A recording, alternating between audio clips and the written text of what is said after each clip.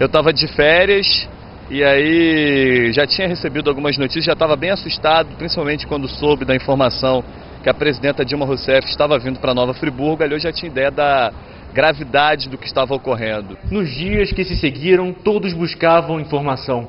Não havia na cidade uma pessoa que não quisesse notícia de alguém querido.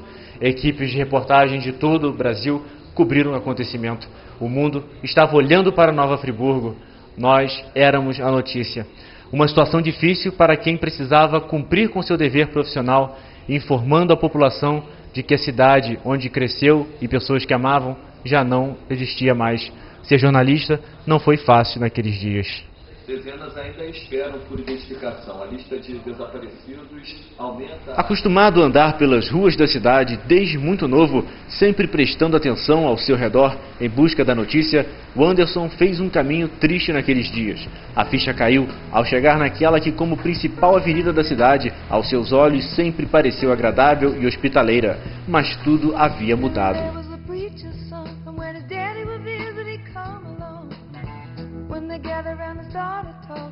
A imagem que me marcou muito assim foi a Avenida Alberto Brauli, né?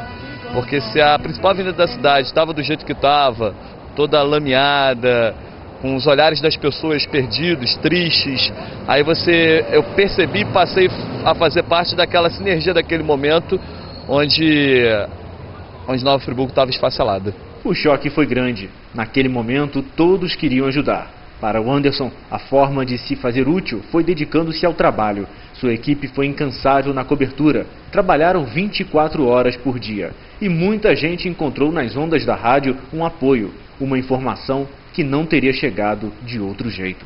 Aí a partir daí eu já fiquei mais preso aqui no estúdio, né? Porque na verdade o estúdio passou a funcionar como uma central de informações não só para as pessoas que buscavam informações, mas também para aquelas que queriam dar informações. Ou seja, a população passou a ser repórter, a, as autoridades usaram o veículo aqui, até porque naquele instante é, era um dos poucos, se não o único da cidade que estava em funcionamento e era o único que também podia ser ouvido através de radinho de pilha, por exemplo, já que algumas localidades não tinham ainda energia elétrica. Então foi a, a, a rádio virou, na verdade, um grande sistema de serviço para que as pessoas pudessem obter essas informações e a nossa responsabilidade se tornou muito grande, por isso a gente ficou é, trabalhando 24 horas por dia para garantir as pessoas, para amenizar é, a situação de muitas das pessoas que estavam, na verdade, procurando parentes ou querendo informações é, daquilo tudo que construíram durante uma vida inteira. É, realmente foram assim dias é, dias muito difíceis em que a nossa colaboração sempre pareceu muito pequena diante da, da, da grandiosidade que foi a catástrofe climática daquele, daquele ano. Geralmente, quando a, gente, quando a gente faz rádio, a gente faz por prazer, né? Sente a alegria em estar fazendo, mas nesse momento isso não foi possível, né? É, certamente o que a gente fez ali foi servir, né?